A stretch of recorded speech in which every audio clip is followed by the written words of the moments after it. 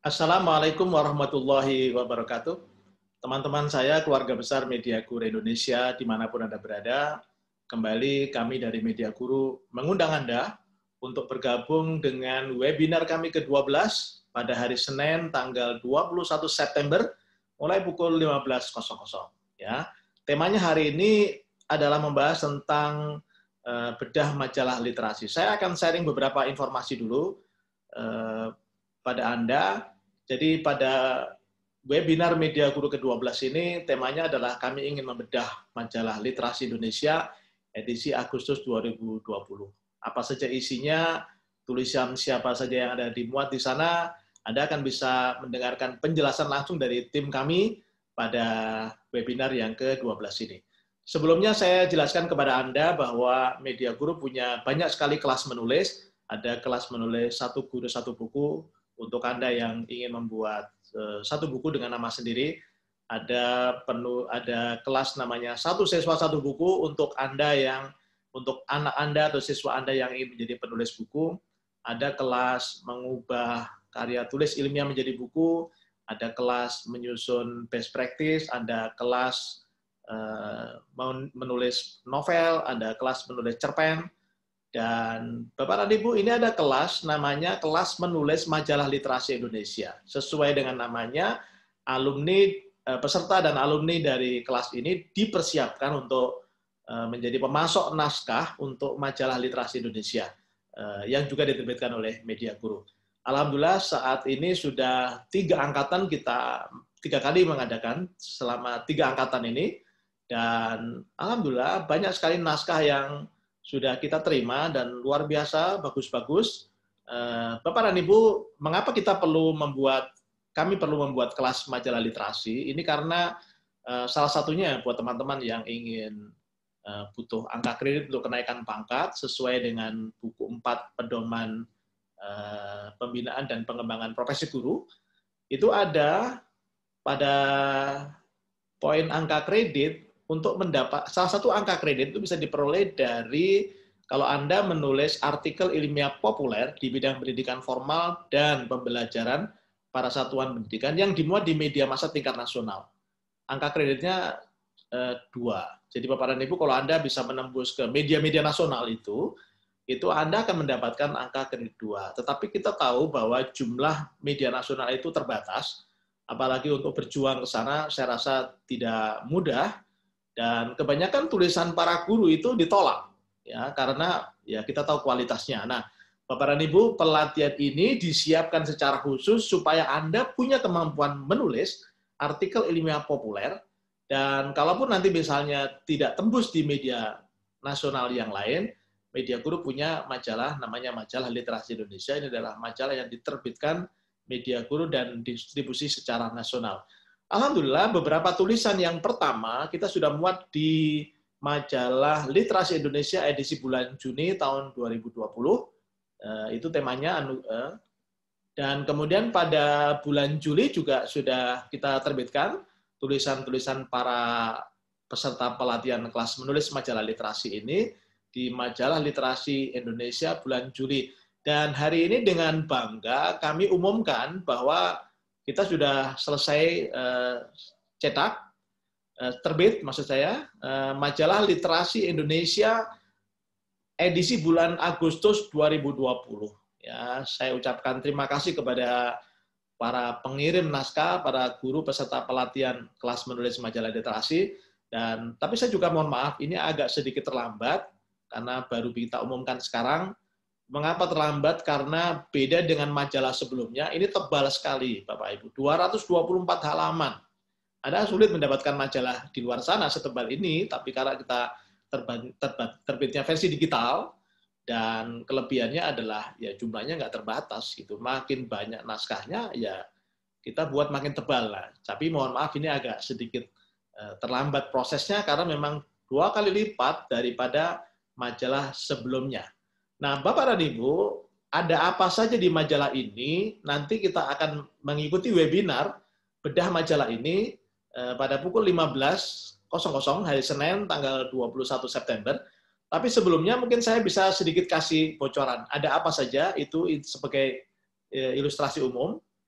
seperti biasa, nanti selain dari catatan Pemret, lalu kemudian CEO, juga ada laporan utama. Dan laporan utamanya adalah seperti di dalam judul ini, temanya adalah menuju Kepri Provinsi Literasi.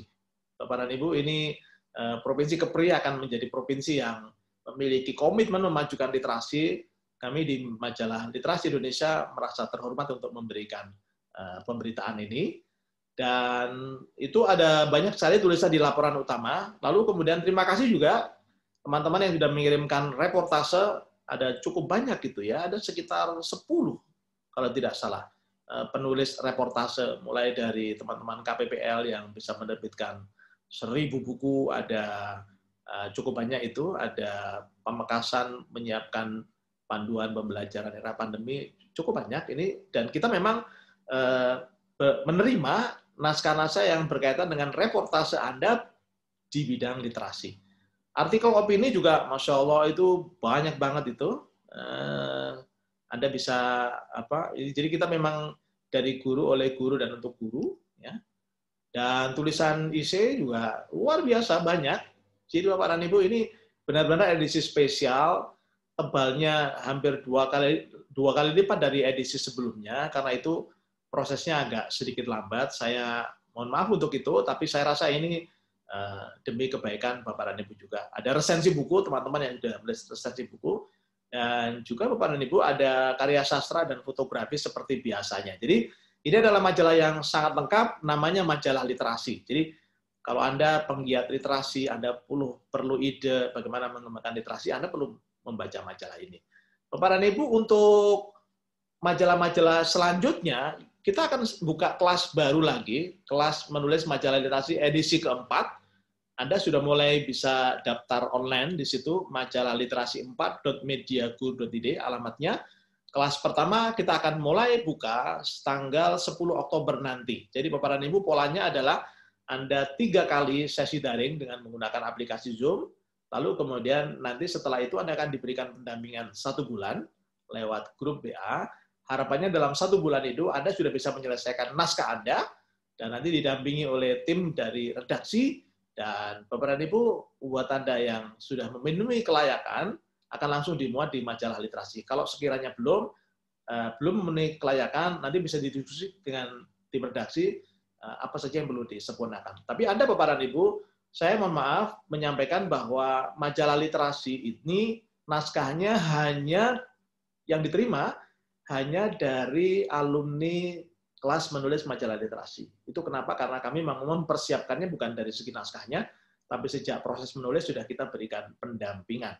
Nah, untuk lebih jelasnya, ada apa saja di dalam majalah literasi, isinya, Bapak dan Ibu, kami undang Anda untuk bergabung di webinar kami yang ke-12, temanya adalah bedah majalah literasi edisi Agustus, pada hari Senin, tanggal 21 September, mulai pukul 15.00. Bapak dan Ibu, insya Allah nanti akan hadir Pak Gubernur Kepri, Pak Isdianto, didampingi dengan Pak Erman Zarudin, Kepala Kantor Kemenak Agama, Kepala Kantor Kementerian Agama Kabupaten eh, Bintan, eh, dan juga tim dari eh, Majalah Literasi, ada Mas Eko Prasetyo, ada Pemret, ada Mas Abdurrahman, redaktur pelaksana, dan insya Allah nanti saya sendiri, dan berlima kita akan mengupas apa saja di dalam majalah literasi Indonesia. Harapannya Bapak dan Ibu, kita semua akan belajar semangat dari Kepri menjadi Kepri Provinsi Literasi dan saya berharap nanti provinsi yang lain akan meniru apa yang ada di Kepri ini. Saya tunggu Anda di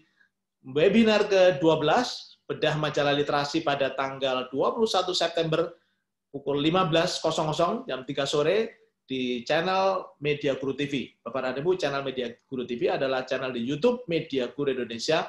Masuk saja ke YouTube, Anda cari Media Guru Indonesia. Bapak dan Ibu, saya ucapkan selamat kepada para penulis majalah literasi yang tulisannya dinyatakan lolos redaksi dan dimuat di majalah ini. Khusus untuk Anda yang belum mendapatkan kesempatan, Anda bisa tetap menulis, Anda mengirimkannya ke redaksi, dan nanti kita akan muat insya Allah pada terbitan majalah uh, edisi yang bulan depan. ya. Dan buat Anda yang masih baru, kalau Anda ingin juga mempunyai naskah yang ingin ditulis juga dan dikirim ke majalah literasi, Anda silakan bergabung di kelas menulis majalah literasi angkatan 4 Kita akan mulai pada 10 Oktober nanti, pendaftaran sudah dibuka mulai hari ini, daftar online-nya di majalah literasi 4.mediaguru.id. Sampai jumpa di webinar Media Guru ke-12. Assalamualaikum warahmatullahi wabarakatuh.